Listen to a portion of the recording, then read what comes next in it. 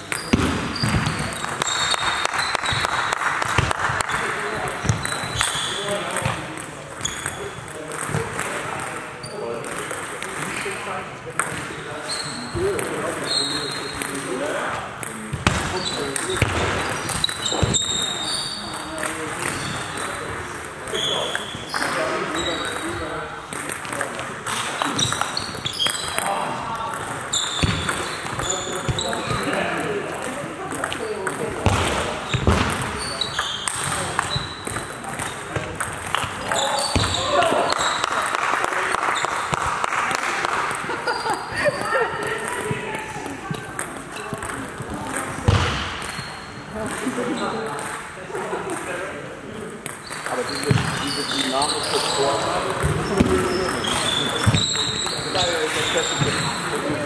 noch Naja, und dann ist. Das heißt,